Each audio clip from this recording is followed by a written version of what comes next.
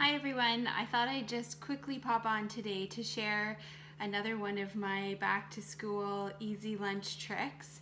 So this is something that I try and do on the weekends and that I also um, usually have to refill during the week as things run out.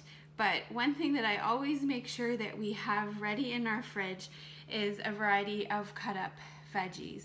My kids um, will eat these easily in their lunch. Usually there's not a huge range that they like, but we've got this time um, some cucumbers from the farm, some fresh carrots from the farm as well, some celery and some peppers. They also like sugar snap peas and cherry tomatoes. Those are usually what I'm choosing from. So I always have these ready to go. I can throw them on the table for supper. If they don't like what I've cooked, then they can still help themselves to their raw veggies when I'm making their lunches at night, they're ready to go, so I just throw them into their containers. Um, and I do the same for my own lunch as well. And if my husband and I are really in a rush for supper, at least we know we've got some vegetables easily incorporated into whatever we are making.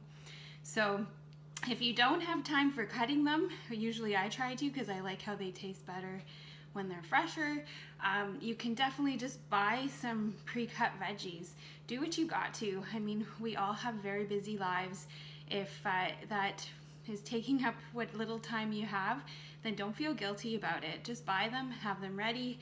They'll still be quick and easy for your kids to, to grab onto and still a lot better than a lot of other things we can end up grabbing for when we're in a bind.